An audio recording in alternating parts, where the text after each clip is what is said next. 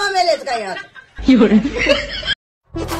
सिंदीर मटला भरलाई महकार वास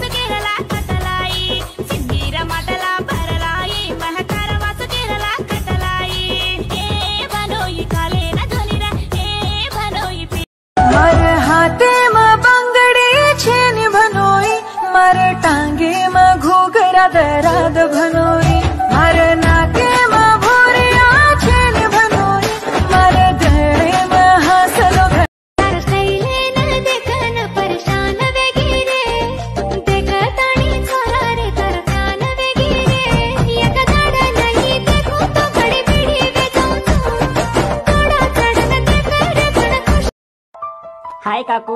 काका नहीं घर में। काका कोट गाड़ी में गया था ना दोपहर को। मानो छोरी का भाया था। अबे लगा होटो नहीं फरा। साढ़े पाँच बज गए तो।